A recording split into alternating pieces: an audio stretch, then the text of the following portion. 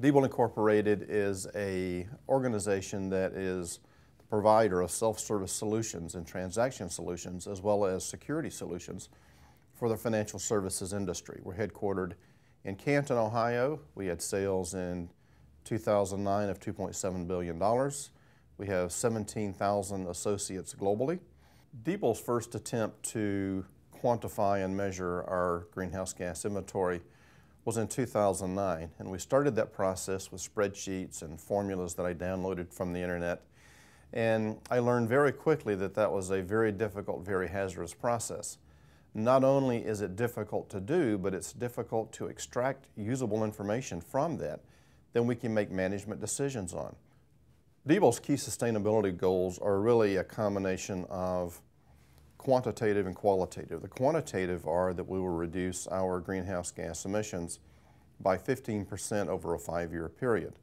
Uh, the other objective that we have is to make sure that our service organization, and we have a very large service organization uh, providing service for not only our ATMs but our security and other systems for our financial services customers, that that service organization uh, operates in a high environmental performance way tracking and managing the waste that we generate as a result of our businesses is very important to us. Reducing e-waste and reducing packaging waste are two key goals I have.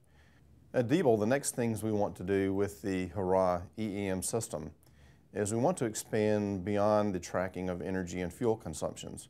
Uh, in 2011, we will add water and solid waste management, both e-waste as well as packaging waste, into the EEM system to use that to track, strategically plan their reductions, and then watch for those results.